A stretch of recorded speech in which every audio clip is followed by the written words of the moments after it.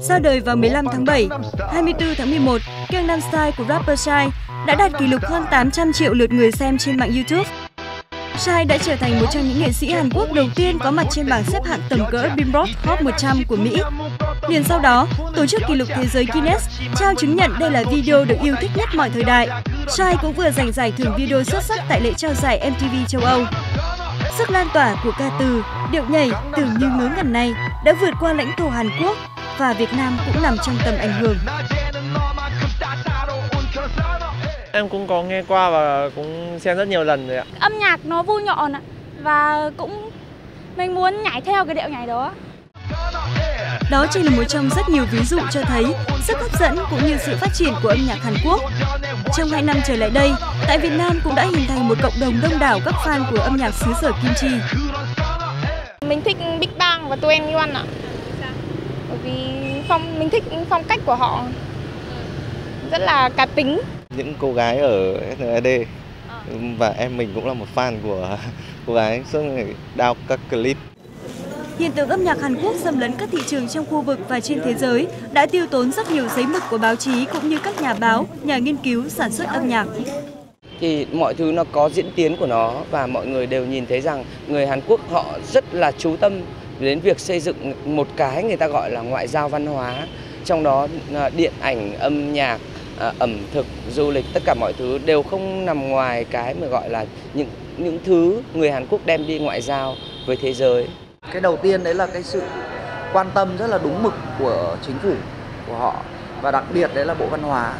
Thì uh, uh, bản thân chính phủ họ có những cái đường lối cũng như họ cũng có những cái um, kế hoạch cũng như là những cái hoạch định của họ rất là ờ, những cái chiến lược của họ rất là mạnh và họ đầu tư rất là mạnh về tài chính để cho những cái công việc mà phát triển văn hóa. Ngay chính tại Hàn Quốc, mỗi công ty quản lý sẽ chi tiền đào tạo khoảng 20 tài năng trẻ. Nếu thời gian rèn luyện là 5 năm, thì một tài năng muốn đi đến được với công chúng cũng phải được đầu tư ít nhất là 150.000 đô la Mỹ. Những thế hệ đầu tiên thành công của Hàn Quốc có thể kể đến Boa hay Biren. Họ đều được đào tạo âm nhạc tại Mỹ, có khả năng hát bằng nhiều thứ tiếng. Khi đã nổi tiếng, họ thường xuyên xuất hiện trong nhiều sự kiện quảng bá cho văn hóa quốc gia. Bắt đầu sơ khai những cái nền ờ, nghệ thuật của Hàn Quốc thì họ chính phủ họ cũng đã có những cái chiến lược rất là là tốt đấy là hầu như là đẩy mạnh tất cả những cái học sinh và những cái người mà uh, mà mà học âm nhạc của Hàn Quốc thì đều đi ra du học những cái nước ngoài những cái nước mà có cái nền uh, công nghiệp âm nhạc phát triển rất là tốt như là Mỹ. Không hát tiếng Anh dù trên đất Mỹ cũng là một trong số những biểu hiện cho quyết tâm giữ bản sắc dân tộc, khiến cho âm nhạc Hàn Quốc hòa nhập nhưng không bị hòa tan.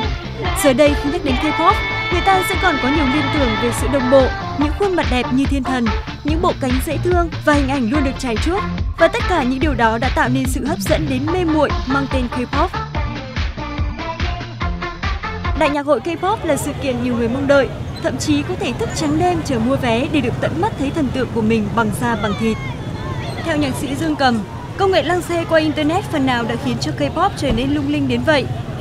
Thực tế là đêm nhạc K-pop đã không có một máy quay nào được vào sân vận động ghi hình. Các nghệ sĩ Việt Nam bây giờ họ cũng không thua kém Hàn Quốc và thậm chí họ hát còn hay hơn các ca sĩ Hàn Quốc. À, chỉ có điều là với cái công nghệ của chúng ta nó chưa đạt đến mức như của Hàn Quốc. Đó chỉ là một trong số rất nhiều điều thiếu của âm nhạc Việt Nam nếu muốn quảng bá ra thế giới. Bài học của, à, về phát triển làn sóng Hallyu của Hàn Quốc ấy là một bài học cực kỳ là xứng đáng để chúng ta có thể đưa vào trong những cái sách giáo khoa cho cái việc cho việc xây dựng uh, cho những người làm âm nhạc. Tức là trong trong trường nhạc viện phải có những cái đề tài nghiên cứu để đưa ra những, những cái những cái chính sách những, những cái chiến lược uh, và quan trọng nhất là để đào tạo những cái người làm âm nhạc cho chúng ta sau này khi mà tại Việt Nam đang có rất nhiều chương trình truyền hình, cuộc thi về âm nhạc được mua bản quyền và thực hiện. Những cuộc thi gây xôn xao dư luận về trình độ hát bằng tiếng nước ngoài của các thí sinh. Thì có một thực tế là để đào tạo bài bản ra những tài năng âm nhạc thực thụ thì tại Việt Nam mới chỉ đếm trên đầu ngón tay các trường và học viện âm nhạc. Do đó, sự so sánh với âm nhạc Hàn Quốc càng trở nên khập khiễng.